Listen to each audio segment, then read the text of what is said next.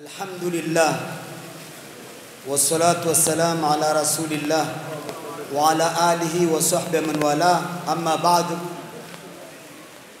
baada ya kukusanyika katika msikiti hunu wa lango la Papa na si lingine lilotukusanya isipokuwa ni kumswalia Mtume sallallahu alaihi wasallam, isipokuwa ni kumsifu Mtume sallallahu alaihi wasallam, isipokuwa ni kutekeleza na kuonesha yale mahaba yetu kwa Mtume sallallahu alaihi wasallam, kwa sababu Mtume sallallahu alaihi wasallam lile tutakalo kulifanya na ule wema aliotufanyia halitoshi kabisa, kwa sababu wema wake na ihsani yake na fadhila zake ni kubwa sana.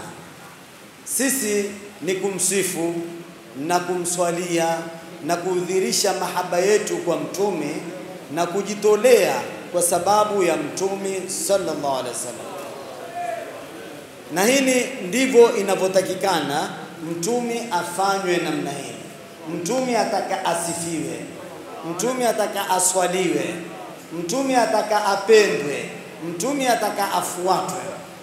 Lazima tumpende mtume ndio tumfuate mtume. Hatuwezi kumfuata mtume bila ya kumpenda, na hakuna chenye kusababisha kumpenda mtume kama kumtaja mtume. Hakuna kinachosababisha kumpenda mtume kama kumswalia mtume. Hakuna kinachosababisha kumpenda mtume kama kumsifu mtume sallallahu alaihi wasallam. Haya yote ni kudhihirisha mahaba yetu. Ukitaka upendwe na Mwenyezi Mungu, ukitaka upendwe na mtume, basi mswalie mtume. Ukisha kumswalia mtume, ukisha kumsifu mtume, basi wewe umependwa na Mwenyezi Mungu na umependwa na mtume sallallahu alaihi wasallam. Na mtume alikuwa akifurahi anaposifiwa, mtume alikuwa akifurahi anaposwaliwa. Utaona hadithi kadha wa kadhaa ya kuwa mtume alipokuwa anasifiwa alitukua kishali akamtuza Kabi bin Zuhair. Mtume alipokuwa anasifiwa akachukua kishali akamtuza Hassan bin Thabit. Hawa ndio katika wale walomsifu mtume sallallahu alaihi wasallam. Ama Kabi bin Zuheri, Kabi bin Zuheri mwanzo huyu alikuwa ni shairi mkubwa, lakini mwanzo alitunga mashairi kutaka kumtukana mtume, kisha akaona ni makosa, akataka kuomba msamaha kwa mtume akaona hakuna la kufanya, ni kwenda kwa mtume nikamsomea mashairi. Nikisoma mashairi itakuwa mimi nitapata msamaha wa mtume. Akaenda msikiti wa mtume, baada ya salati alfajr akaanza kumsomea mashairi mtume sallallahu alaihi wasallam, mashairi aliyosoma ambao leo tukakutafsiria utasema utasema ni juu ya shirki, hata si chini ya shirki, kwa sababu mashairi makubwa ndani ya msikiti wa mtume. Akwenda kumsifu mwanamke amemsifu Suad, banat Suad faqalbi alyawma matbulu mutayyamun ithraha lam yufda makbul. Amemsifu Suad.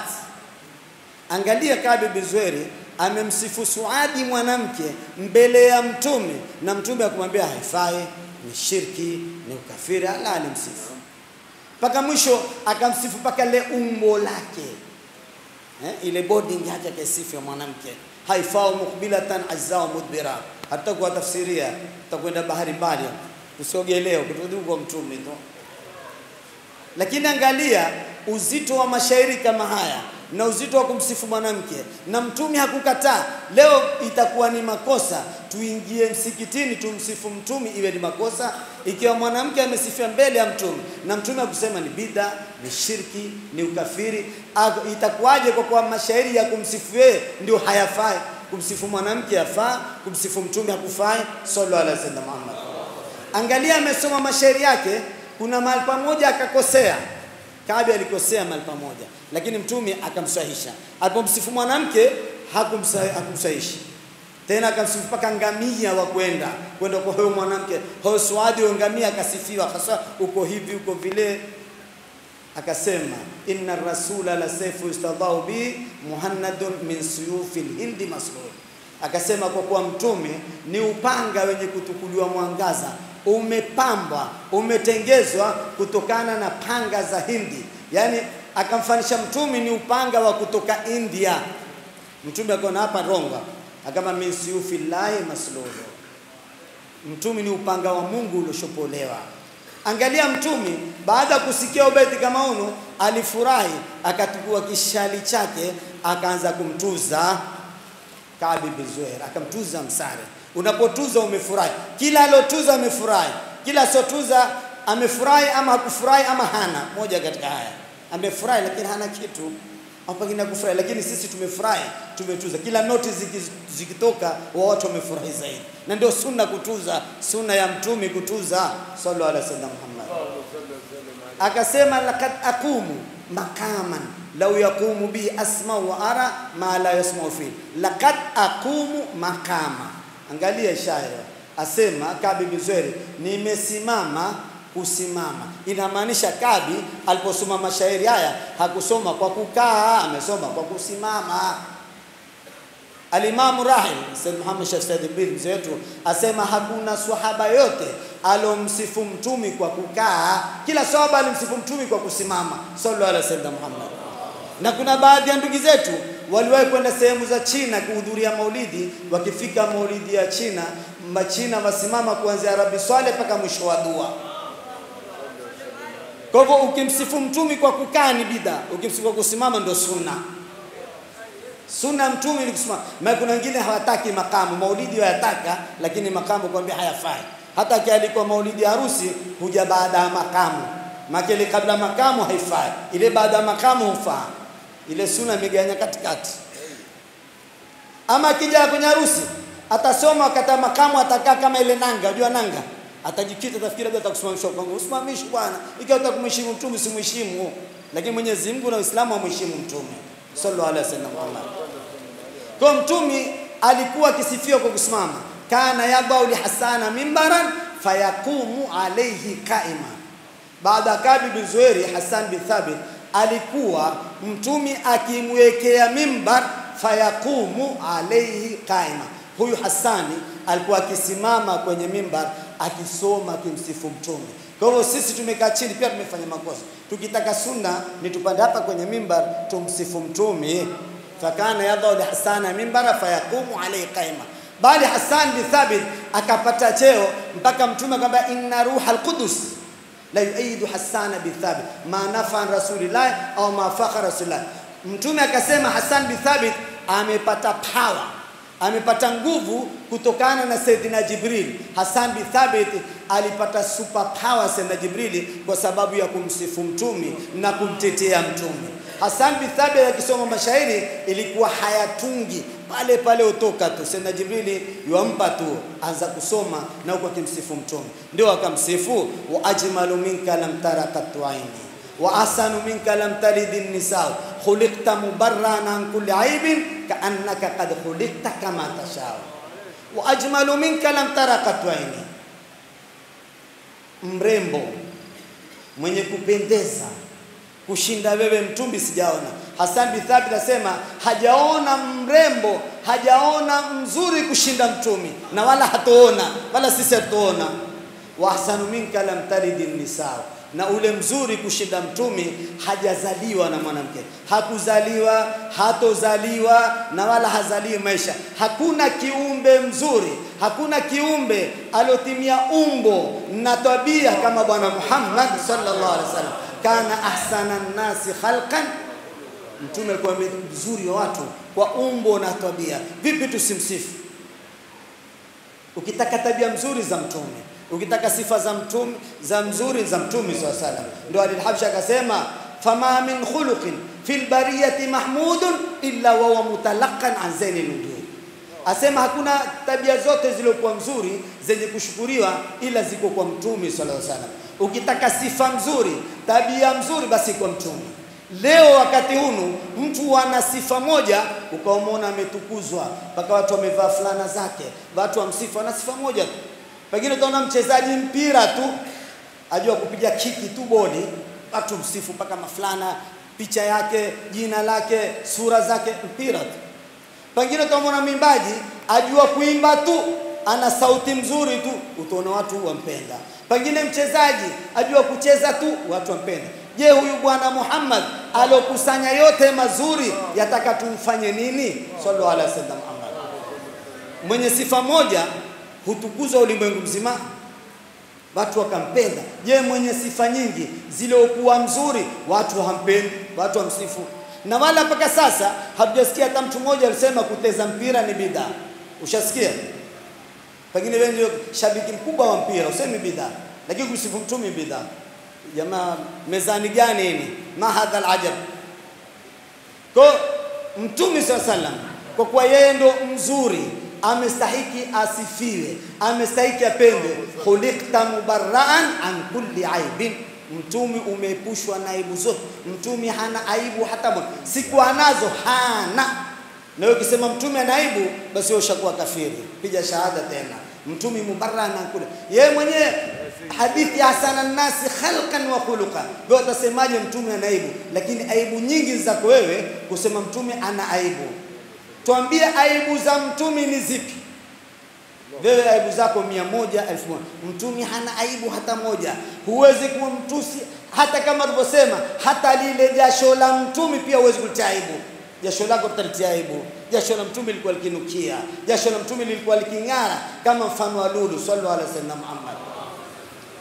Kwa mtume amekamilika, mtume amekamilika, mtume uko sawa ka, kaannaka kad khuliqta kama tashau, kana kwamba wewe mtumi umeumbwa unavyotaka, kana kwamba mtumi alimwambia Mungu, mimi niumbe hivi, nipe pua hini, nipe macho haya, nipe masikio haya, nipe nyele. Huna ila hata moja, lakini wewe una ila ila ila ila mpaka kufa kwako, ila zako ziko lakini mtumi hata moja. Wewe tukakusifu sifa zote, fulani mzuri, lakini tasema nini? Lakini ana anaibuhini, hini, ana hini, isipokuwa tu hivi eh, kama alikuwa hivi ingelikuwa una kama lau, lakini wewe unazo, lakini mtume hana, utadhani ameumba. Na leo umbo la mtume ndio zuri. Ukitaka kujua umbo zuri la mtume Mtume macho yake yalikuwa vipi? Basi macho mazuri ya mtume. Mtume pua yake alikuwa vipi? Basi ndio mzuri mtume.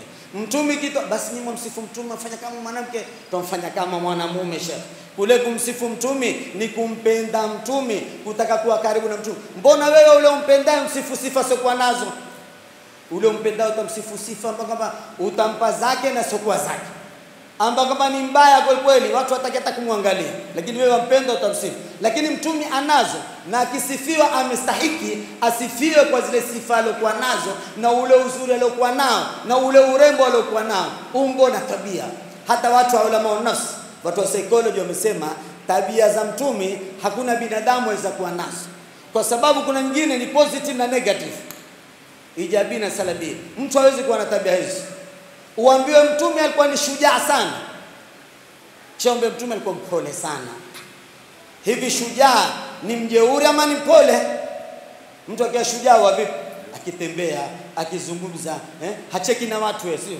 Sasa upole na ushujaa, pengine unaweza kuona mtu mshujaa lakini bakhili, bakhili wa nafsi yake, lakini mtumi ni shujaa lakini ni karimu mtumi ni shujaa lakini afanya ibada. Kwa hivyo sifa za mtumi mtu hawezi kuwa nazo yeye, lazima nyingine zitakuwa hazimo, lazima yeye itakuwa mzuri. Mtu shujaa lakini kwa wake zake alikuwa vipi? Alikuwa mpole, akitangamana nao vizuri. Sasa angalia ushujaa. Je, wale wanaume mashujaa wakikaa na wake zao wa vipi? Mtu akiingia nyumbani wa kama simba, shujaa bwana, watu wote wameona yeye, lakini mtume sallu alaihi wasallam. Kwa hivyo huyu ndo Rasulullah. Hasan bin Thabit akasema qiyami lilazizi alayya fardun wa tarku lfardhi ma huwa mustaqim, mimi kumsimamia mtumi ni lazima, lazima tumsimamie mtumi. Wa tarku lfardhi ma huwa mustaqim, ikiwa wewe mtu wa kidunia wamsimamia mtume, afai kumsimamia. Watu waenda kuangalia mpira, kucheza mpira, ile goli ikiingia afanya nini eh? wafanya nini? Wasimamia ngozi tu mpira tu shekhe. Wewe wasimamia mpira, itakuwa kama ule bwana mmoja alimwambia mtoto wake kaangalie mpira.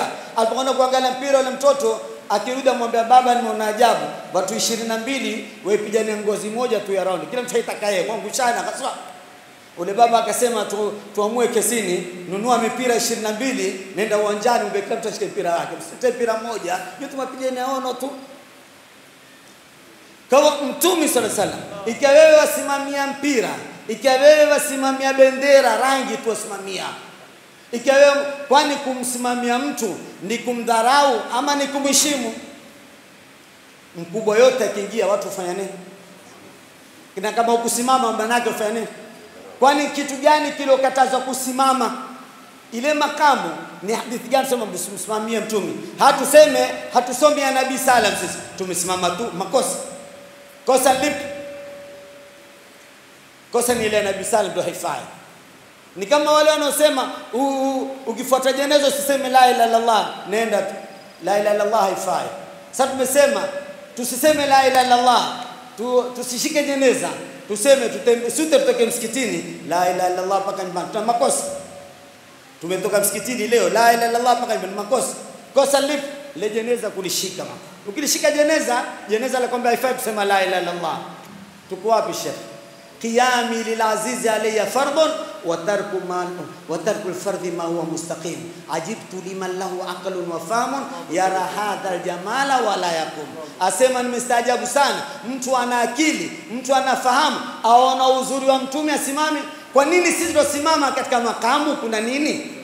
Suala kwa nini tusimama wajua haya yaitwa maulid maulid ni mazazi mazazi ni kuzaliwa. Kwa hivyo tumesimama wakati wa makamu, ni wakati wa mtumi ndio amezaliwa. Tukisimama wakati wa makamu, ndio lile boli limeingia goli kule, sallallahu alaihi wasallam. Na kwa nini ukienda kuangalia mpira husimami mwanzo mpaka boli liingie? Kwa nini? Hayo utakuza swala hilo nayo. Wafurahi goli limefanya nini? Imeingia. Na sisi tufurahi mtume amefanya nini? Sallallahu alaihi wasallam tena useme urongo wewe, useme ile timu yangu. Shekhe, umeipata wapi? Mtu wa Mombasa, timu ya Brazil na Manchester, usema timu yako umeitoa wapi wewe? Wafurahika na boli, ufurahiki na mtumi? Hivi mpira na mtumi bora nani? Hata tuwezi kufananisha, kufananisha atakuwa tumelitukuza mpira. Kwa hivyo mtume za salam kumwinukia, kumsimamia ndio faradhi, na katika mahaba ya kumpenda mtume ni kuhudhuria maulidini. Kila anayehudhuria maulidini ampenda mtume na kila pinga wa maulidi hampendi mtume. Sisi hatuwezi kukusanyika hapa, hatukuja kwa karamu, hatukuja kwa sababu ya mahaba ya mtume, twampenda mtume. Kwa maulidi ndio mahaba ya mtume, na mtume ni maulidi. Tumekuja kumsifu, tumekuja kumswalia. Kwa hiyo siseme ati wengine hawaji maulidi na mpenda mtume. mpenda nini? Kumswalia mtume hawataki, kumheshimu mtume hataki, bwana mtume hataki, hataki asifiwe, hataki aswali, kisha wampenda mtume. Sisi na mtume na mtume, annabiyu hayun Zaimu sija kusikia ukitoa sauti ba. Annabiyu hayun. Ah, basi sija kusikia inshallah. Tumpe na yeye atoe kalima ili tusome dua wala afa minkum. Assalamu alaykum wa rahmatullahi ta'ala wa barakatuh.